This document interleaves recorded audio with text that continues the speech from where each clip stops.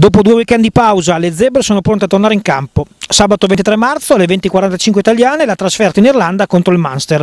Il gruppo ha riabbracciato i tanti nazionali impegnati a sei nazioni e anche giocatori reduci dai propri infortuni come Bellini e Violi. Quest'oggi a rispondere ai microfoni del sito internet delle zebre il tallonatore Fabiani, pronto come di consueto a dare battaglia sabato al Thomond Park.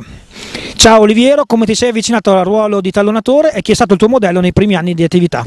Ma diciamo che il ruolo del tallonatore l'ho sempre svolto, tra virgolette, anche per, per, a causa del mio fisico diciamo, ero un po' più grosso rispetto agli altri ragazzi e quindi già all'età di 16 anni mi ero avvicinato alla prima linea.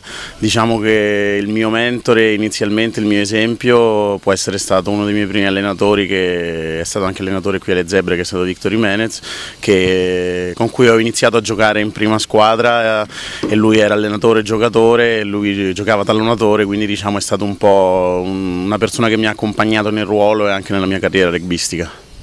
Sei cresciuto nella primavera rugby, poi come hai detto sei passato alla Lazio Rugby eh, Roma e la Pallovale. Nel 2000 la Rugby Roma vince il Super 10 e il Flaminio ospita il suo primo Sei Nazioni. Quanto questo ha influito sulla tua scelta di affrontare e fare di questo il tuo sport? Beh, diciamo che sono due episodi molto importanti per, eh, per, la mia crescita rugbistica, diciamo che sono due episodi che mi ricordo veramente con, con grande entusiasmo e con grande piacere. La prima partita del, della nazionale al Flaminio è stata un'esperienza unica per, per me e anche per tutti i miei compagni dell'epoca perché è stato un evento bellissimo da, che ci ricorderemo sempre.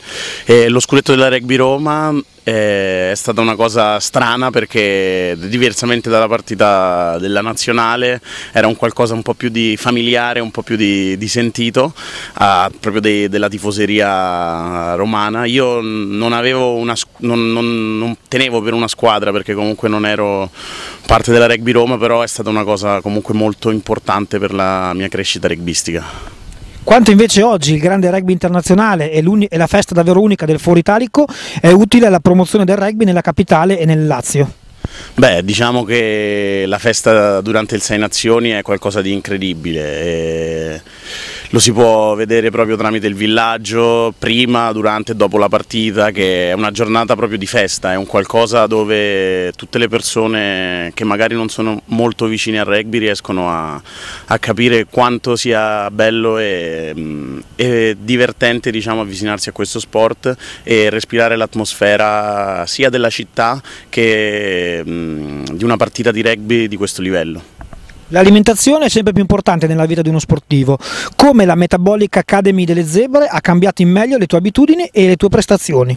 Diciamo che nella, nella mm, vita di uno sportivo professionista eh, l'alimentazione è fondamentale. Eh, devo dire da quando sono arrivato qui alle Zebre con l'aiuto del dottor Cioni siamo riusciti a stabilire un rapporto tra noi giocatori e tutta la parte dello staff eh, medico, fisico e compreso anche il dottor Cioni con cui riusciamo a interagire molto bene e con cui riusciamo a ottenere degli ottimi risultati. Hai appena festeggiato il primo compleanno di tuo figlio, cos'è cambiato nella tua vita di sportivo professionista? dopo il matrimonio e questo lieto arrivo? Beh, diciamo che più che nella vita da professionista è cambiata un po' la vita in generale. In eh, poco più di un anno, un anno e mezzo sono riuscito a raggiungere una maturazione diciamo, che non pensavo che arrivasse così velocemente.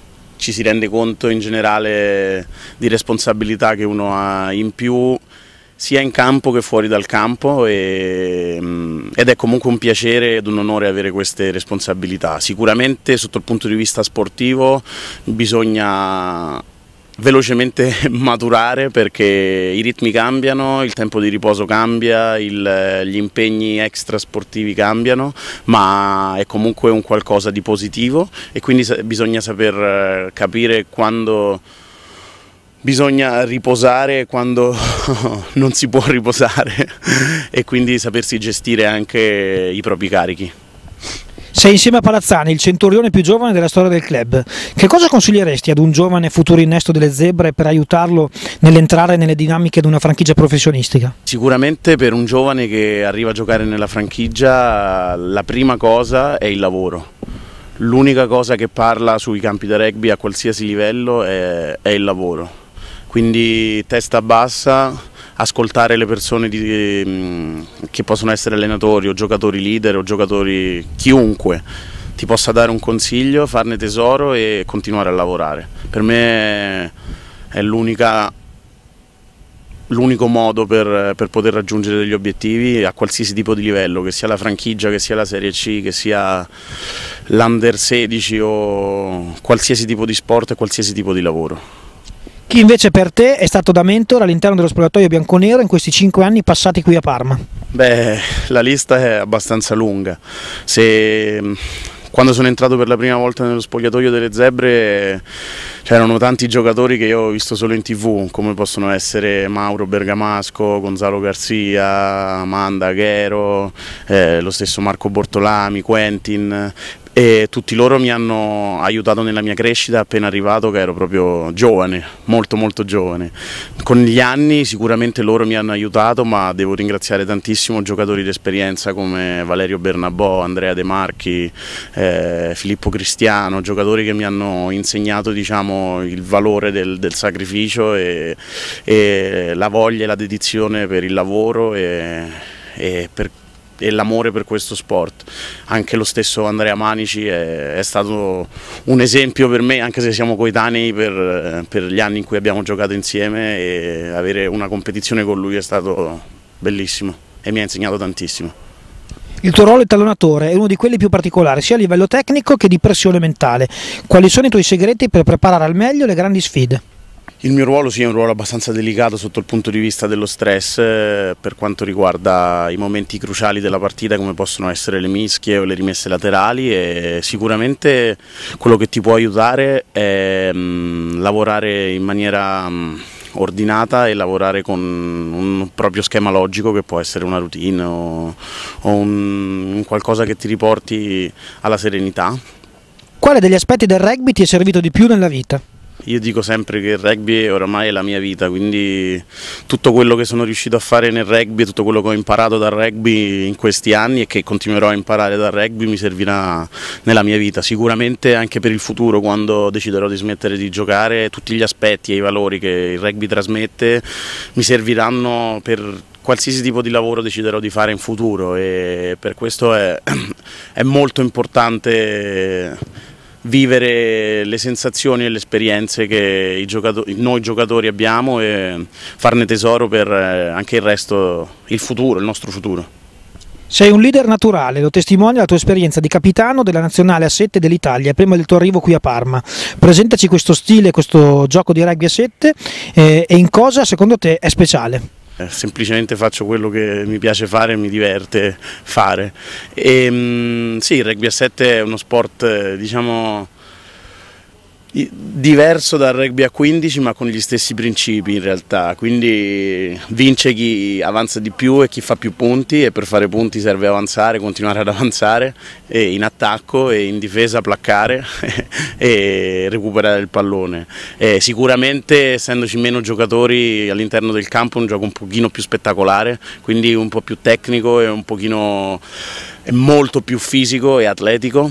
E, mm, diciamo che essendoci meno giocatori, come dicevo, è più spettacolare ed è anche più divertente può essere più divertente da vedere perché la palla è sempre in movimento, ci sono pochi punti di incontro, ci sono tantissimi gesti tecnici e qualità atletiche che magari ci sono anche nel rugby a 15 ma che non possono essere espresse nella stessa maniera. Si è stato convocato dall'Italia all'ultimo Sei Nazioni senza però scendere in campo. Dopo la mora in bocca d'Italia-Irlanda di poche settimane fa a Roma, sabato si tornerà in campo proprio in Irlanda contro il Munster, secondo nel girone delle zebre. Quanta voglia c'è nel gruppo di tornare alla vittoria? Ma nel gruppo la voglia di vincere c'è e c'è sempre stata in tutte le partite che abbiamo affrontato in questa stagione. Sicuramente la vittoria manca da, da, qualche, da qualche, partita, ma siamo sereni e convinti del nostro, del nostro lavoro. Prima di pensare alla vittoria dobbiamo pensare alla nostra prestazione e costruire la nostra prestazione minuto dopo minuto, che sia non lo so, qualsiasi cosa dobbiamo fare, noi lo sappiamo cosa dobbiamo fare, dobbiamo costruire la nostra prestazione e quello che verrà sarà tutto di guadagnato.